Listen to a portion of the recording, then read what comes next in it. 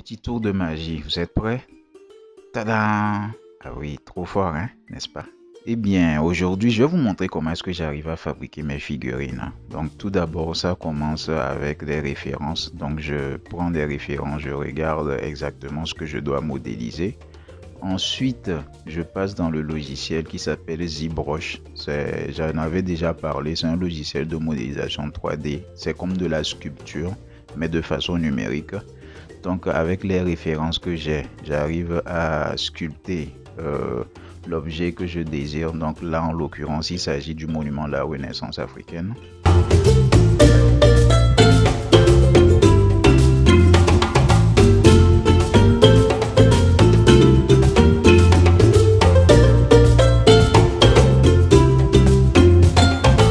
Donc voici le résultat.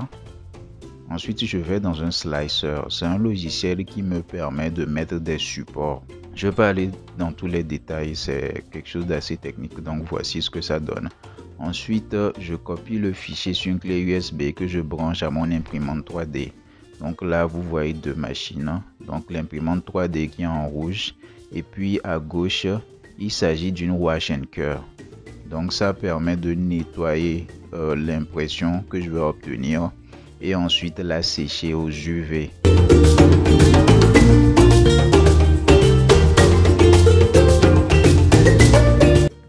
Je mets de la résine dans mon imprimante 3D et surtout quelque chose de très important, les protections. Donc je mets les gants, un masque euh, parce que c'est de la résine et pour pouvoir manipuler ça, il faut faire attention.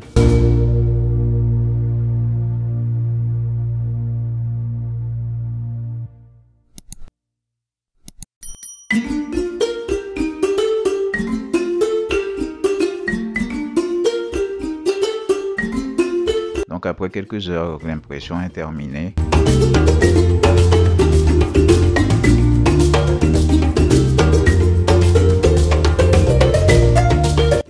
Je remplis le récipient de ma wash and cure euh, d'alcool isopropylique qui va me permettre de nettoyer euh, ce que j'ai obtenu.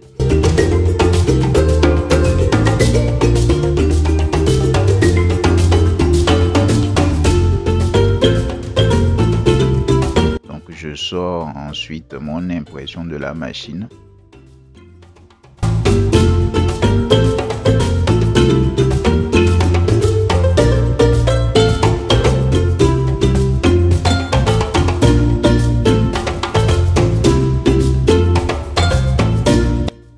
J'enlève ça avec quelques outils.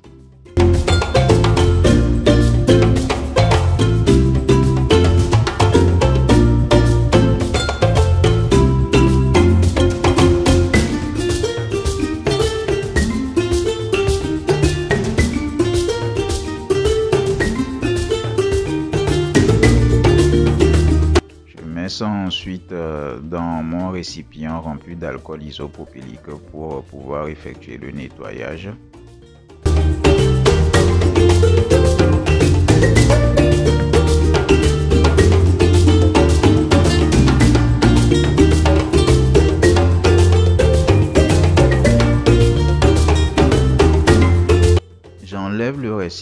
Ma wash and cure et puis je remplace ça par euh, ce qu'il me faut pour pouvoir euh, sécher ça aux UV.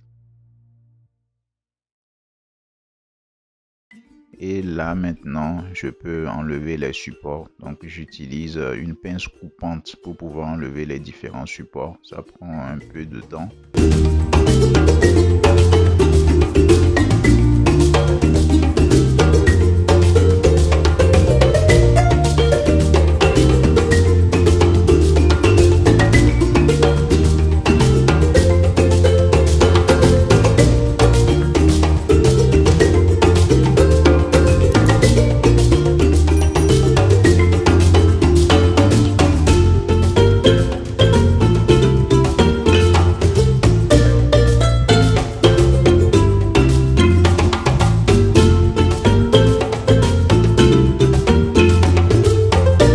Place donc mon objet dans la machine que je recouvre avec ce couvercle jaune. Au fait, ce couvercle est un anti-UV. Ça permet de garder les UV à l'intérieur de la machine. Ainsi, ça va se concentrer sur l'objet en question, sur l'impression.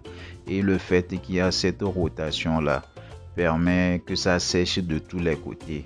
Donc voilà. Voilà, voilà. Dites-moi ce que vous en pensez. Je profite de l'occasion pour vous montrer une version plus grande du monument la Renaissance africaine. Donc, euh, quand vous allez aller sur le site, vous allez voir deux versions, la small et puis la medium.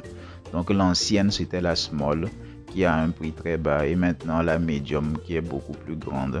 Le prix est aussi abordable et les frais de transport sont inclus.